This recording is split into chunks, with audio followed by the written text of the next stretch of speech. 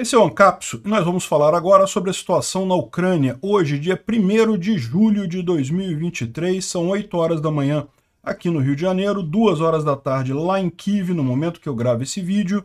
E ontem, depois, mesmo depois do, uh, da ponte ter sido atingida por um míssil Iskander, os ucranianos mantiveram sua cabeça de ponte na margem esquerda aqui do rio de Dnipro. Vamos entender como é que eles fizeram isso e, na verdade, estão até ampliando a área que eles conseguem dominar ali na margem esquerda. Né? Tudo indica que haverá realmente alguma movimentação por ali. Também em Orihiv a gente tem informação de um ataque muito forte ucraniano contra Robotny, ou seja, indicação que os ucranianos estão avançando. Da mesma forma, em Barmut também sabemos que os ucranianos ultrapassaram o canal é, que tem ali perto de Kurdiumivka e estão avançando em várias direções. Muito provavelmente a batalha por Klishivka começou aqui em Barmut. Né? Continua a grande dúvida sobre a situação na usina nuclear de Zaporizhia. Como vocês sabem, os russos parecem estar preparando para fazer um ataque ali para deixar a usina de forma instável, que ela acabe explodindo e gerando um, uh, um, uh, um evento uh, danoso para a Ucrânia, né? Os russos negam isso e dizem que são os ucranianos que estão planejando isso, como se houvesse alguma lógica os ucranianos explodirem a usina de Zaporizhia, né? Não teria nenhuma lógica isso daí, de forma alguma, isso ajudaria os ucranianos. O primeiro-ministro da Espanha, o Pedro Sánchez, está visitando Kiev neste momento, conversando com Zelensky, e, infelizmente, nós aqui do Brasil, o governo Lula negou a venda de blindados Guarani para os ucranianos, mais uma triste contribuição do Brasil a favor de Putin, né? Infelizmente, nós, o povo brasileiro, a gente tenta contrabalançar disso. A gente vai falar um pouco no final sobre a nossa vaquinha que encerrou ontem.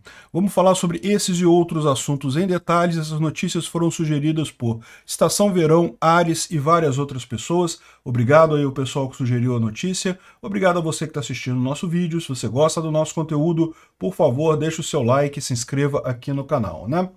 Pois bem, antes de mais nada, olha só, a gente não sabe o que é isso daqui, tá? Mas olha o engarrafamento que está na ponte da Crimeia, na região de Krasnodar, ou seja, isso aqui é para ir em direção à Ucrânia, né? Tá até agora, olha só, aqui também uma, uh, continua até esse momento, né?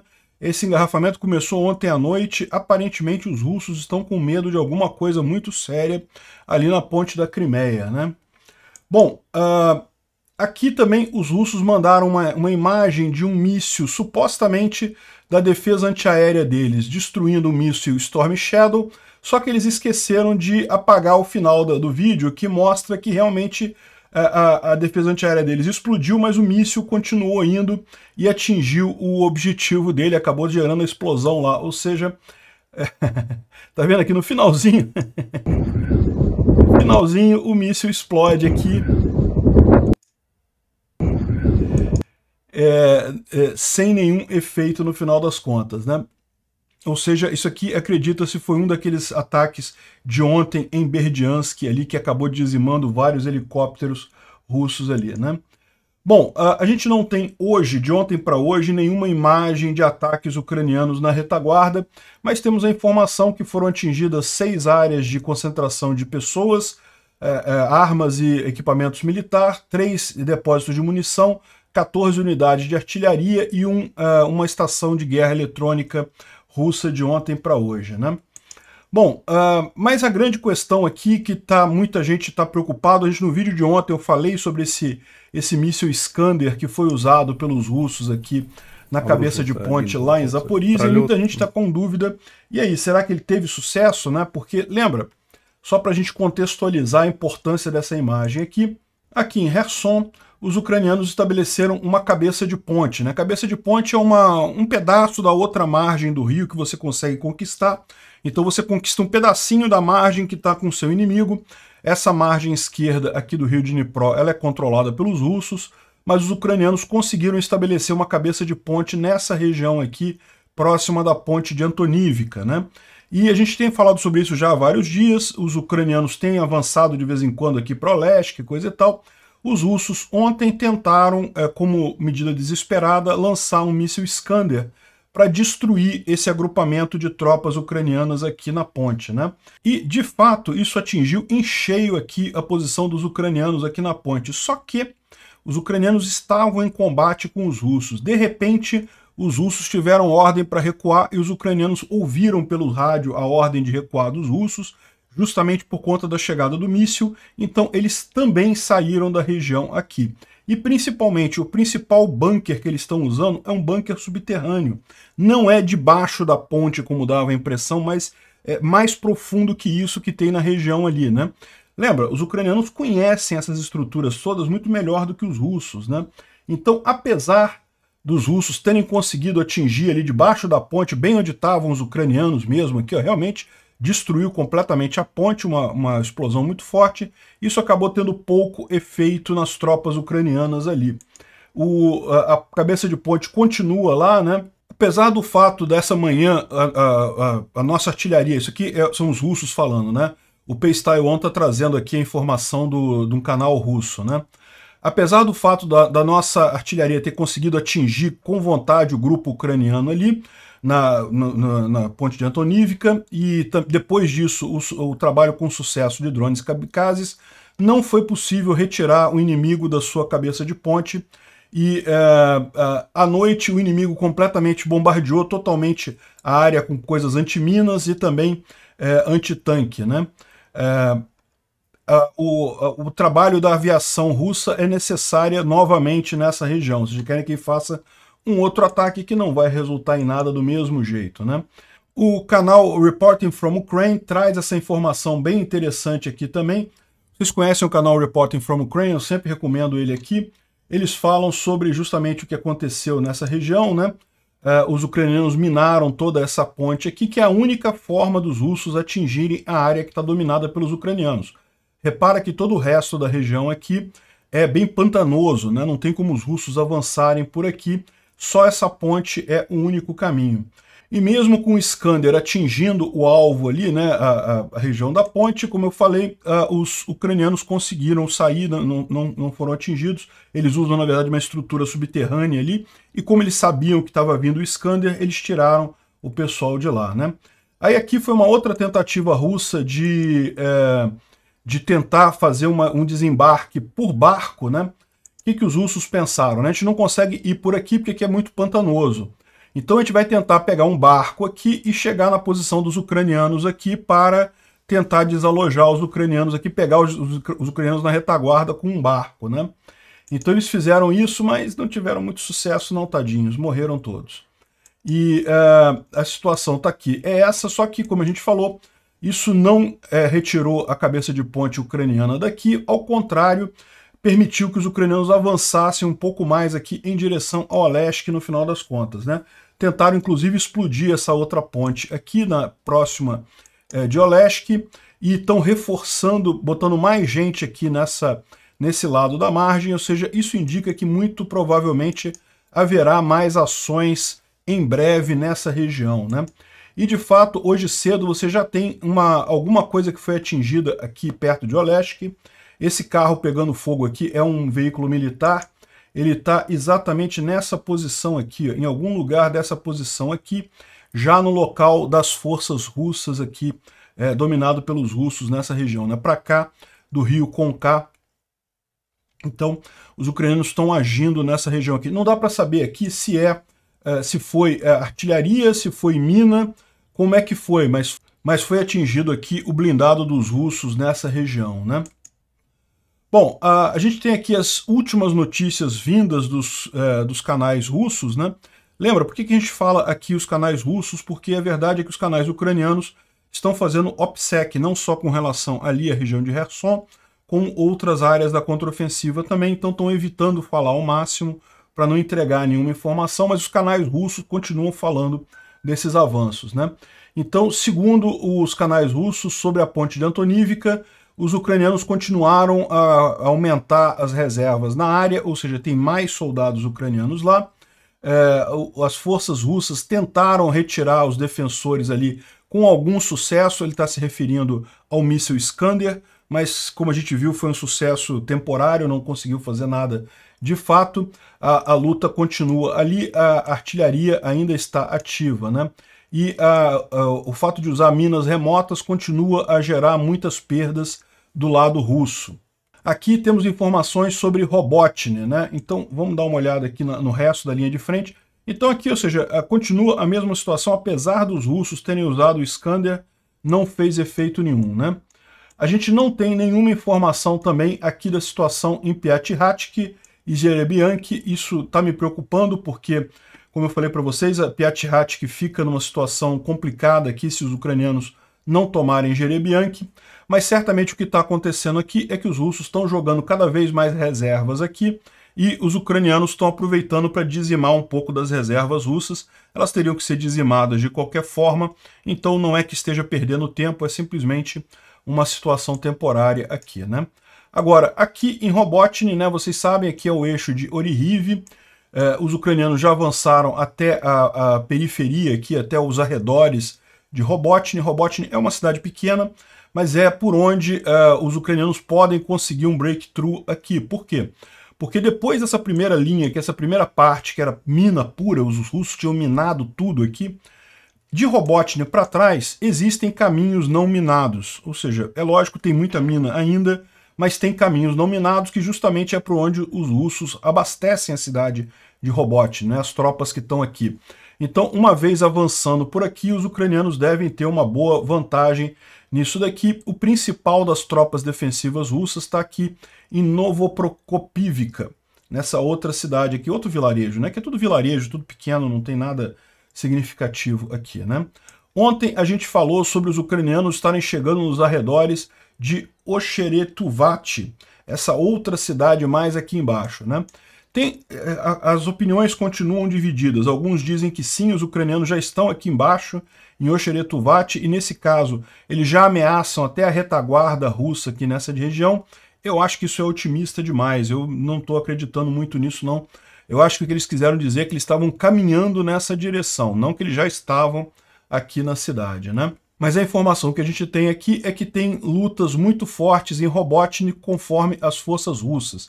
Parece que os ucranianos decidiram quebrar a linha de defesa russa nessa área aqui de Robotnik, né?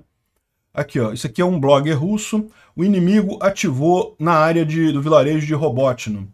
É, nesse momento, é, preparações de artilharias massivas na linha de frente e na primeira linha de defesa de, do grupo de Zaporizhia está acontecendo.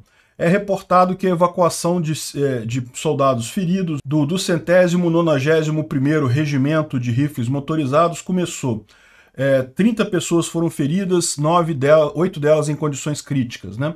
Ou seja, o que eles estão dizendo é que os ucranianos estão atacando com muita força aqui em Robotnik. Os russos, por hora, estão sentindo uh, uh, o golpe, né, mas não cederam ainda. Mais adiante, ali na região de Velika Novosilka, que é onde fica a próxima tentativa aqui, o próximo ponto de avanço ucraniano, os ucranianos conseguiram avançar significativamente aqui a partir de Rivnopil em direção a Volodiane, que é essa outra região aqui, né? Você pode ver nessa área aqui tem uma grande parte que está marcada como sendo dominada pelos russos, mas segundo as informações que eles estão trazendo aqui, ó, Nessa região, o exército ucraniano continua a contraofensiva e na seção de Staron-Liniv, na linha de frente entre na direção de Rivnopil-Volodiane, ou seja, entre Rivnopil e Volodiane, que fica aqui embaixo, nessa, nesse sentido aqui, uh, os ucranianos conseguiram avançar bastante, uh, uh, conseguiram furar a linha de defesa dos, dos orcs e avançar um bocado nessa direção. Né? Repara que aqui a área vermelha no mapa dele aqui é bem menor do que essa aqui, é, tá só na região de Staromayorsk mesmo. Staromayorsk ainda está é, na mão dos russos, né? mas essa área vermelha aqui a oeste de Staromayorsk, segundo ele está dizendo aqui, foi os ucranianos conseguiram avançar por ali. Né? Essa outra conta aqui que faz umas análises também da linha de frente, tem uma, um, um estilo gráfico bem característico aqui. O que, que ele está falando? Está falando da mesma linha de frente, está no mesmo ponto ali de Velika Novosilka, então, Staromayorsk está aqui. Ele também confirma que os ucranianos avançaram aqui a oeste de Staromayorsk, tomaram posições aqui nessa região é, de floresta. Agora, ele fala aqui sobre Priune. O que, que ele está dizendo aqui? Aqui nessa região eles estão é, na situação de sucção. O que, que ele está dizendo aqui? Que é, é, não tem logística. Eles estão com pouca munição, pouco cartucho e não conseguem fazer a decisão correta, que é de recuar. Né? Então, Priutini está aqui, os ucranianos estariam já é, é, impedindo o, o abastecimento das tropas russas aqui e muito em breve eles vão acabar cedendo. Para quem lembra, foi exatamente assim com Rivnopil, mais aqui ao norte, né? Então, para a gente ver aqui nesse mapa de cá, Priutini está aqui, está numa zona cinza, ou seja, ainda tem russos por aqui ainda, mas o que está acontecendo? Os ucranianos estão chegando aqui a partir de Levadne, né, atacando Priutini, mas também atacando as rotas de abastecimento de Priutini. Foi exatamente assim que eles fizeram com Rivnopil, né? Atacaram as rotas de abastecimento de Rivnopil, o grupo russo ali conseguiu resistir por dois, três dias, mas sem munição, sem comida, sem água, sem abastecimento, fatalmente eles tiveram que sair de Rivnopil. Os ucranianos tomaram a cidade alguns dias atrás. Estão fazendo a mesma coisa com Priutini.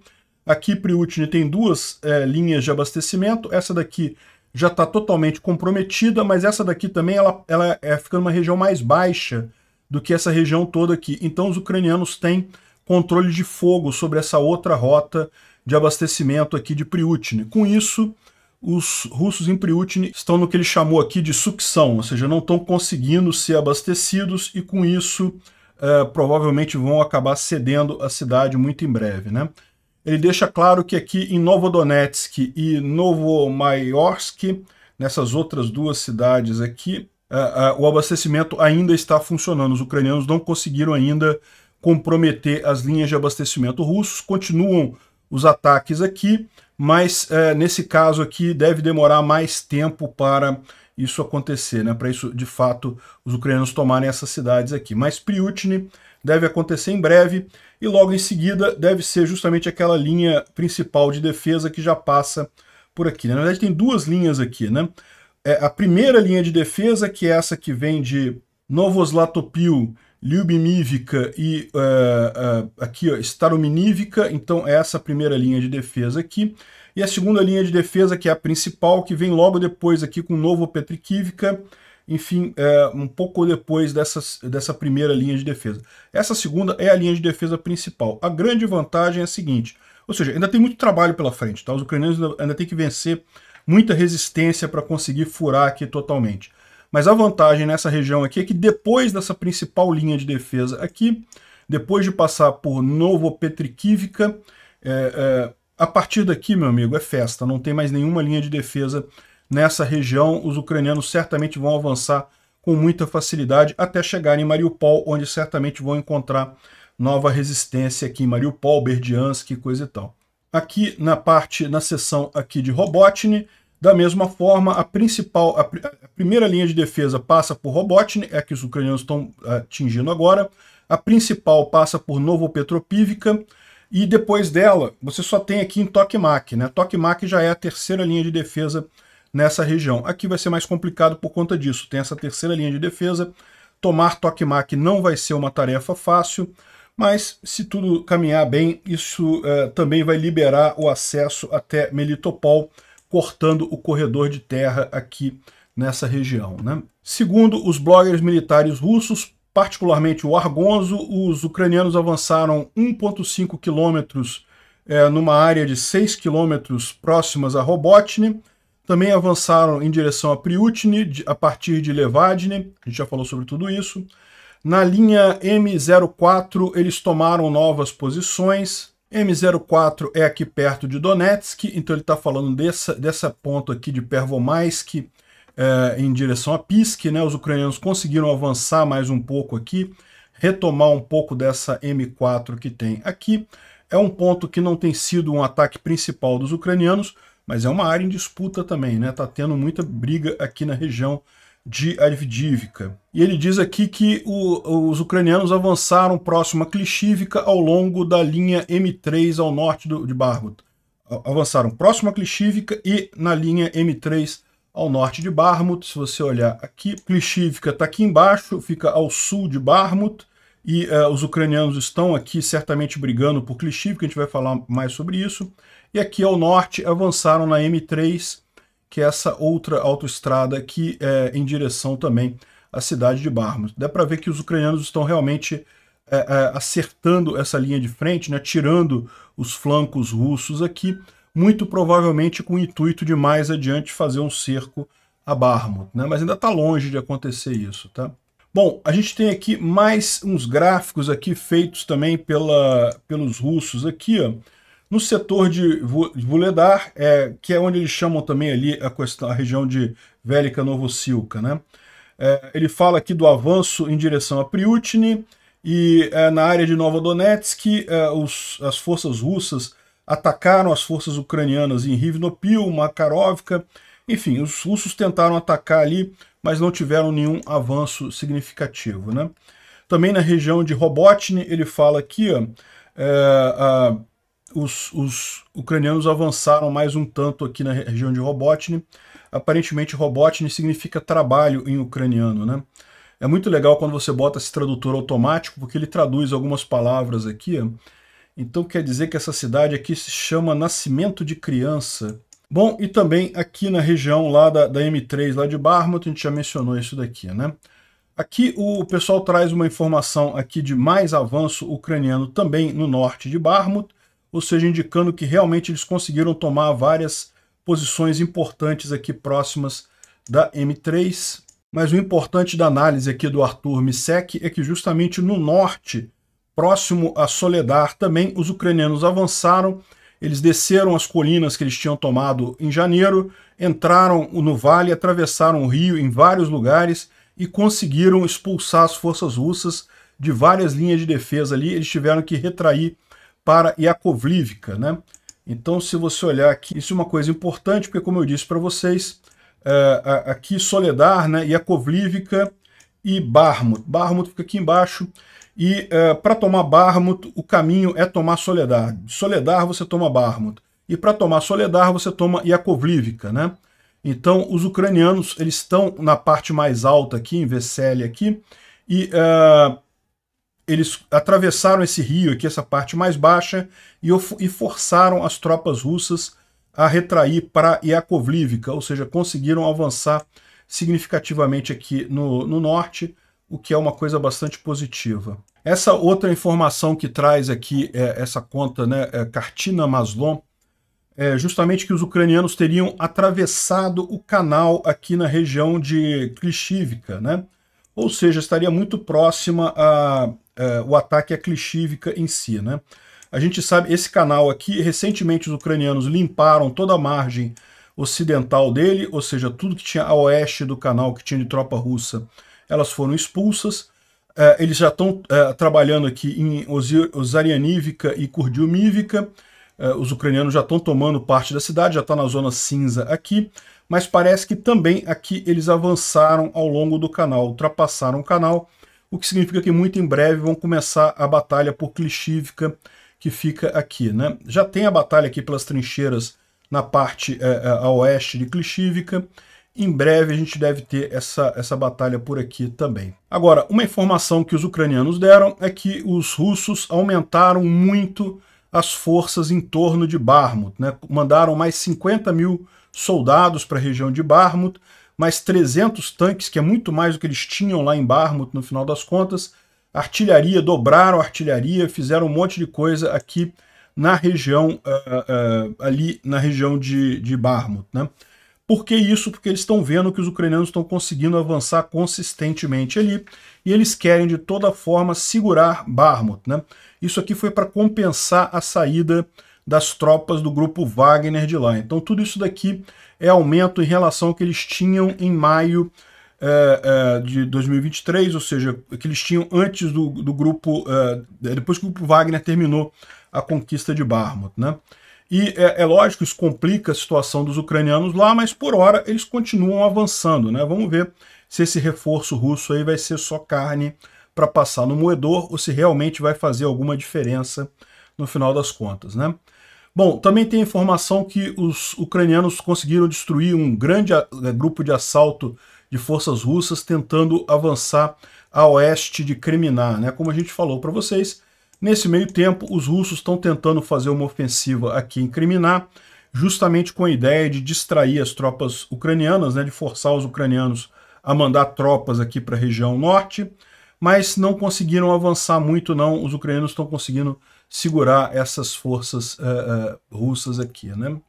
Aqui uma informação que a gente tem é que uma, uma parte de um, um grupo de forças russas que eram do Daguestão, eles acabaram desistindo e fugindo das, das, das posições que eles tinham nessa região aqui. Né? Aqui a gente está falando justamente de, é, aqui de Zaporizhia, aqui próximo a Dorojerianka, né? Os russos simplesmente abandonaram essa região aqui e fugiram porque não tinham condições de manter a posição, né?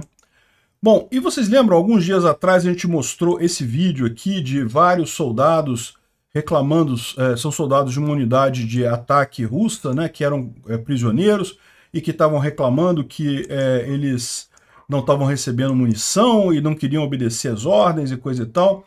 Bem, os ucranianos resolveram o problema deles, já que eles, tá, eles fizeram a filmagem mostrando o local onde eles estavam, né, ficou fácil para os ucranianos identificarem onde é que especificamente que eles estavam, e uh, imediatamente a 36ª Brigada Marine ucraniana resolveu o problema deles aqui. Agora ninguém precisa mais questionar se vai lutar, se não vai lutar, eles só precisam deitar no chão e ficar quietinhos ali até serem enterrados. Né? O Instituto para Estudo da Guerra ele ressalta aqui a questão da continuidade da contraofensiva, dos avanços pequenos que os ucranianos estão fazendo, são avanços lentos, mas é isso que é esperado mesmo. É aquele negócio, é, é, é essa contraofensiva, ela está sendo feita contra posições defensivas preparadas com muito cuidado, então é natural que seja lento isso. E é, ele fala aqui sobre como uh, o espaço de informação dos russos, né, os bloggers militares russos, estão reagindo de forma desproporcional à falha dos russos de tirarem essa força no banco, do, uh, uh, na margem esquerda do rio eh, Dnipro, ali em Kherson, né? Ele está dizendo aqui que isso não parece ser uma contraofensiva, isso parece ser só um grupo mesmo de reconhecimento, talvez um reconhecimento em força, mas nada além disso. No entanto, os russos estão perdendo a cabeça com isso daí, né? A inteligência ucraniana é, é, avisa que as forças russas e oficiais estão saindo da, da usina nuclear de Zaporizhia em preparação para um acidente acidental ali na usina, né? A gente já falou sobre isso, é, continua essa história toda aqui, já está a propaganda russa já começou a falar nisso daqui. Ó. Olha só, o Ministério das Relações Exteriores da Rússia diz que a Ucrânia está preparando um ataque terrorista na usina nuclear de Zaporizhia, ou seja, um absurdo completo. Isso não tem nenhuma lógica a Ucrânia fazer isso. Ela sabe que ela que seria grande prejudicada, com mais uma enorme área contaminada por radiação. A Ucrânia já tem um pedaço grande no norte do país que é, não pode ser usado por conta do acidente de Chernobyl, não, não teria nenhuma lógica a Ucrânia fazendo isso, né? Mas é isso daqui, é, é, o, é, o, padrão, né? Os russos dizem que os ucranianos que vão fazer para depois ter a discussão. Ah, quem foi que explodiu a usina de Zaporizhia? É lógico que foram os russos, né? Igual a, a, a, a represa hidrelétrica lá de Nova Karhovka, é lógico que foram os russos que explodiram, né? Mas aí fica esse papo, a ZU-7 fica, não, mas pode ter sido os ucranianos, porque não sei o que é lá e coisa e tal. Pois é, vamos aguardar como é que vai ser isso daí. E segundo eles estão dizendo aqui, já tem até uma data provável para esse acidente acontecer, que seria o dia 5 de julho, né? Vamos esperar que isso não aconteça. Bom, o primeiro-ministro da Espanha, o Pedro Sánchez, chegou em Kiev para conversar com Zelensky, para fazer é, negociar mais apoio para a Ucrânia. Excelente notícia isso. Outra notícia muito bacana foi o, uh, o Mike Pence, que é o antigo, o ex-presidente, o ex-vice-presidente do Trump, que teve na Ucrânia também, e ele é plenamente a favor de aumentar o apoio militar uh, americano à Ucrânia. Então ele falou uh, na entrevista com a CNN, dizendo que está muito otimista com a vitória e que ele acha que os Estados Unidos estão fazendo pouco deviam mandar mais armamento para a Ucrânia, né? Então eu concordo plenamente com o Mike Pence nessa, acho que ele está fazendo um contraponto muito importante a Trump e outros, uh, uh, outras russetes que tem no espaço político americano. Né? Bom, a Polônia anunciou sua intenção de colocar armas nucleares americanas no território polonês em resposta às armas nucleares é, russas colocadas no território de Belarus. Né?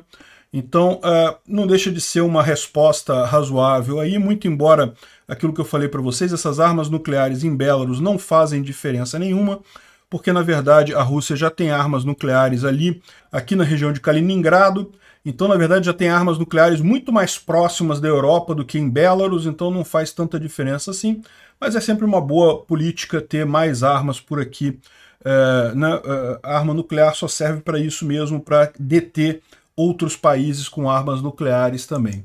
Bom, como eu mencionei para vocês, eu não sei do que, que o Prigogine vai viver, porque a grande fortuna dele vinha da companhia de catering que ele tem, né? ele servia é, comida para os presídios na Rússia, para escolas e para o exército russo. E uh, o Ministério da Defesa russo terminou o contrato com a empresa Concorde, que é a empresa do Prigogine de catering. Né? Não dá para saber exatamente o que vai acontecer aí, porque é, seria muito mais lógico o governo russo é, é, encampar a empresa do Prigogine, mas aparentemente não. A empresa continua sendo do Prigogine, eles só cancelaram o contrato com ele. E fica uma dúvida também, né? Como é que eles vão fazer para repor esse contrato? Porque não é qualquer empresa que consegue atender um volume de vendas tão grande assim desse tipo de, de refeição né? para exército e cadeia e coisa e tal.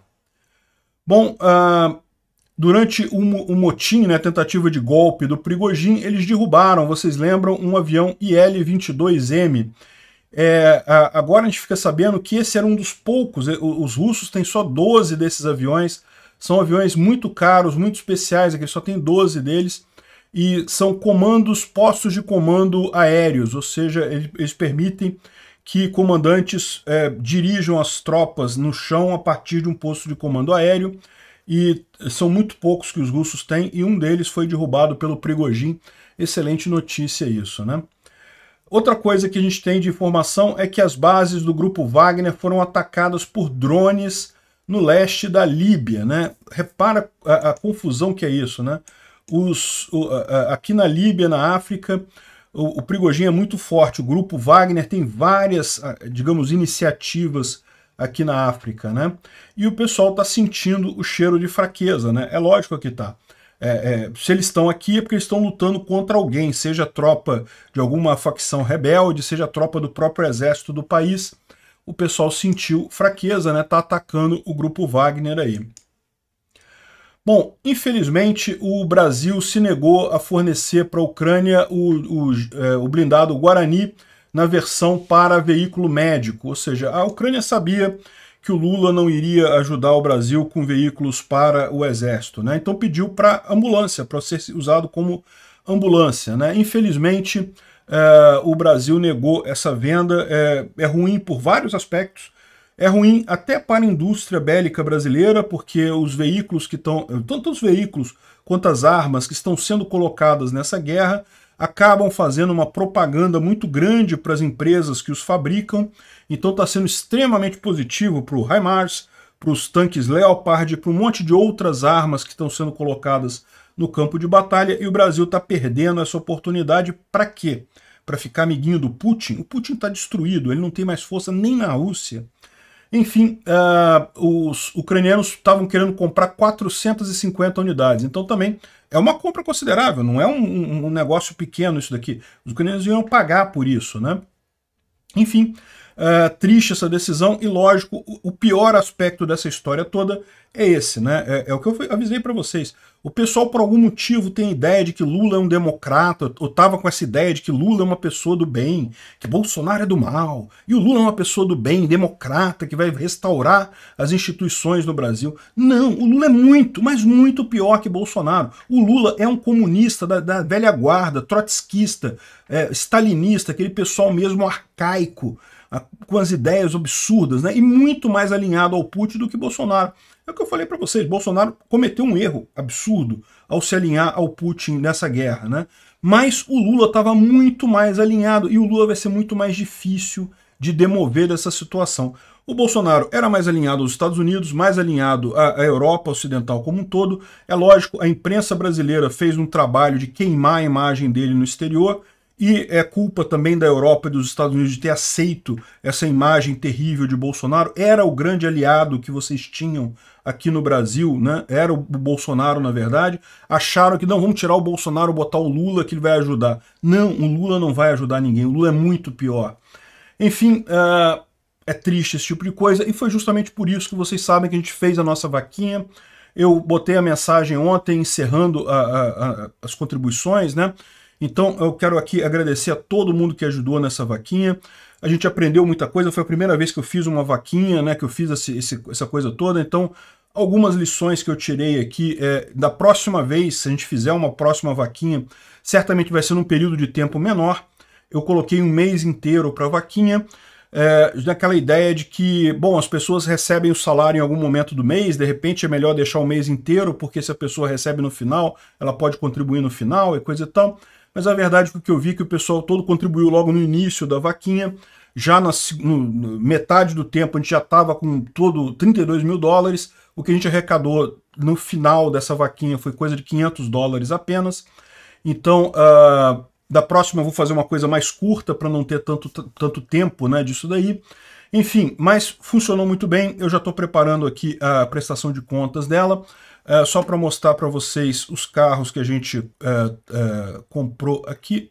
O primeiro carro foi comprado na Suécia, ele já está comprado, mas o pessoal, tá, o, o, Alex Silva está com dificuldade de trazer ele para a Ucrânia, é, mais complicado do que parece. A gente decidiu comprar os outros carros na Ucrânia mesmo, mesmo sendo um pouco mais caro, mas é mais fácil de chegar, então tem esse outro aqui que também já foi comprado, e esse terceiro carro aqui que está mais velhinho, mas na linha de frente é até bom, porque né, na linha de frente é para o carro acabar mesmo.